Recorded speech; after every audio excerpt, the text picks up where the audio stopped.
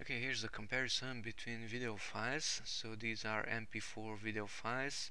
The codec is XAVC-S and the frame rate is different and the camera was shooting the same thing, barely any movement in the videos, so the content is roughly the same and the length of the videos is almost identical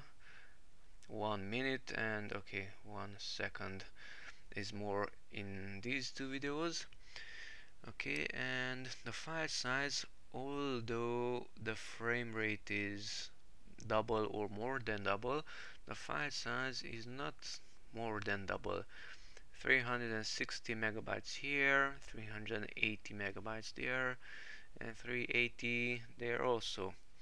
So this is half the frame rate of that one but still the megabyte size the size occupied on the disk is almost the same.